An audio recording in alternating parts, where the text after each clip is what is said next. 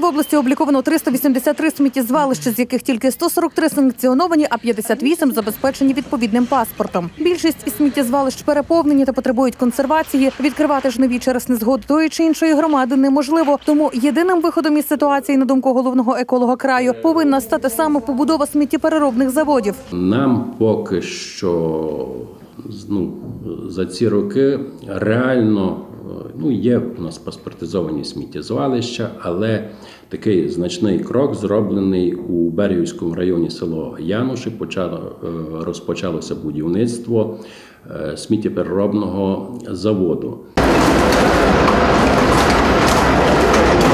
Ще з 2012 року триває будівництво сміттєпереробного заводу у селі Яноші на Берегівщині. Подібний комплекс планують звести у Виноградівському районі. І потреба у відкритті підприємств для переробки відходів сміття нагальна. А тим часом Закарпаття потопає у смітті. Неабияка проблема із його вивозом на Виноградівщині. Минулого тижня це питання піднімали на сесії районної ради. Зокрема, цікавило те, куди саме його вивозять з району. Нагадаю, менше місяця тому голова Виноградівської РДА Михайло Росанюк коментував нашому телеканалу цю проблему.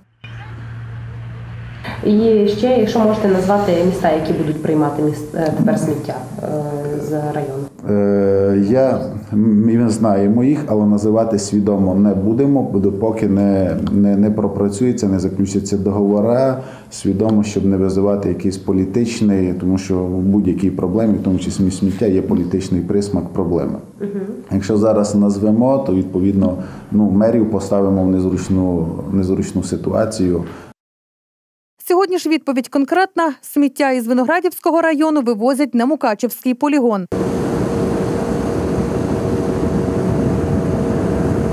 У ж Мукачеві та районі і своїх відходів вистачає. Аби показати масштаби сміттєвої проблеми, наші журналісти проїхали 22 кілометри від Мукачева на човні вниз по річці Латориці. Всюди береги вздовж річки встелені пластиковими пляшками, поліетиленові пакети висять як гірлянди на деревах. А з відходів нарахували кілька десятків невеличких острівців та цілих заторів, яким не видно ні кінця, ні краю. Таких завалів буває дуже багато по Латориці. Були і біля Домбудського моста був завал. Ну я так з другом, що хожу, ми самі інколи розбираємо ці завали. Або то, коли такий дуже великий утворюється завал, то вже неможливо самому розібрати. І тут навіть дивіться, була дуже велика вода, вона завал цей не понесла. Цей завал останеться. Ну він вже тут є, я вам скажу, десь роки три або чотири. Я наблюдаю його. І його не відносить. Навіть була велика вода дуже, що і крига йшла, і все, паводок навіть не забрав. Тепер спадає вода, він тільки буде Тобто від Домбицького ущільнюватися. мосту сміття пронесло і воно тут зупинилося. Да, так, тут трішки? зупинилося. Такий мусор е, по-любому впливає на природу, що він добра не приносить нікому, тому що воно гниє, запах потім дає сморід у літі.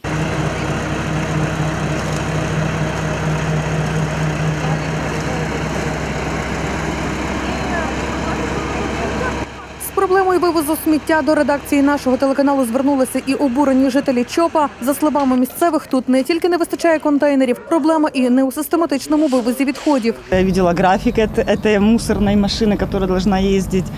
И у них написано два или три раза, я не помню уже конкретно. Они раз в неделю соизволят приехать. Чопський міський голова запевняє, проблему вирішать найближчим часом. Позаминулого тижня місто отримало майже 200 нових баків, що вже роздали у приватний сектор. І як тільки словацьке підприємство «Екочоп» закупить нові контейнери, у місті обіцяють навести порядок. Будем надеяться, что чем быстрее подойдут баки, тем быстрее разрешится эта проблема. Обіцяють вирішити сміттєву проблему і на Хущині, а поки що як у межах міста, так і в районі купи непотребу. Люди в селах кажуть, у цьому частково винна і влада, адже сміття в районі нема куди подіти. Його не вивозять, бо нема сміттєзвалища, не утилізують, бо нема сміттєпереробного заводу. Відтак ховають по кущах. Тим не менш, голова Хуйської районної ради Олександр Пацкан наразі запевнив, що у цьому питанні нарешті є певні зрушення. Міжгір'я Хуст, може ще когось залучимо і будемо починати е, таку роботу, скажімо, готувати, чи це буде переробний завод, чи це буде сортувальна лінія, чи це якась інакша переробка буде побутових відходів. Ну, поки що, ну, поки що тільки в процесі, як скажемо, початковому такому знаходиться. Зрештою, і підтримка самої громади у цьому питанні не буде зайвою, адже дуже часто саме жителі на громадських обговореннях висловлюють свій супротив будівництву сміттєпереробних заводів. Та у будь-якому випадку кожному потрібно починати із себе. І коли люди навчаться не смітити собі під ноги, навкруги теж стане чистіше.